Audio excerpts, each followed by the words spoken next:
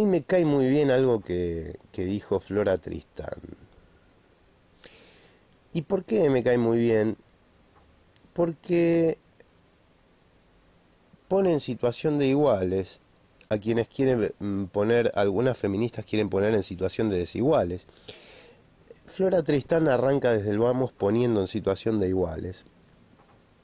Cuando ella decía algo así como que la ley que esclaviza a la mujer y la priva de instrucción, os oprime también a vosotros, hombres proletarios, a vosotros, obreros, que sois las víctimas de la desigualdad de hecho y de la injusticia.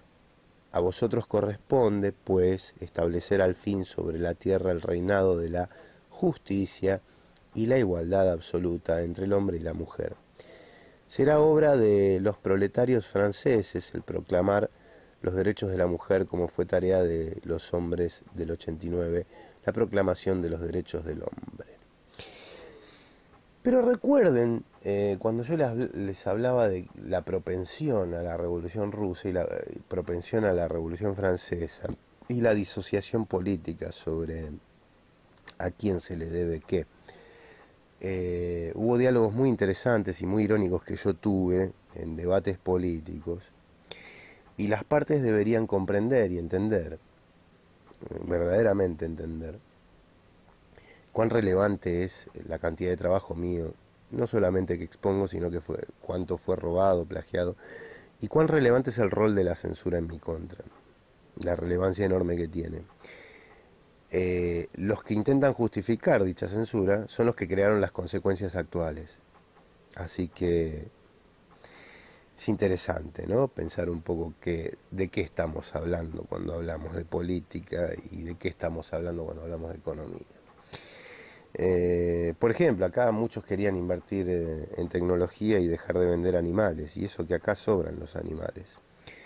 Decían algunos para iniciar, y no lo decían así, eh, lo decían de forma mucho menos, mucho más llana y más, más, más payada gauchesca hablando de que había que poner como prioridad eh, el vender los animales sobrantes porque es lo que sobra.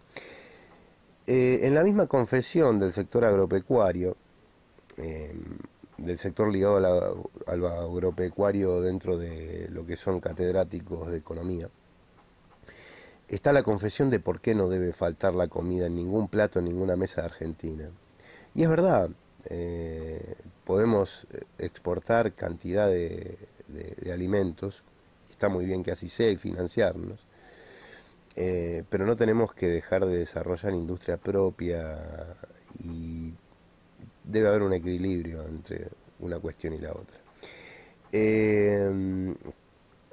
no tenemos ni remotamente hoy en día la posibilidad de exportar tecnología porque no, claramente no están dadas las condiciones como para que nosotros tengamos una inversión de punta en tecnología, ¿no? Eh, entonces hay que generarlas desde una, desde una idea puntual, por un lado eso, sin perder de vista otras cuestiones. Igualmente a mí me resulta extraño eh, que a veces en las discusiones eh, políticas, cuando una cosa confirma otra, omite otra a propósito. ¿no? Digo, por eso te digo, no debería faltar en ningún plato, de en, ninguna mesa y a ningún ciudadano, a ningún, ninguna persona que viva en nuestro país la comida. No debería. Y si sucede, y si sucede, verdaderamente es por mala voluntad, no es porque no se pueda realizar y no es tampoco porque el realizarlo le haga perder muchísimo dinero a alguien que no lo tiene. No, no, no, no, no. Eh, engañar es fácil, pero cuando se tiene conocimiento sobre qué ocurre no es tan fácil seguir engañando.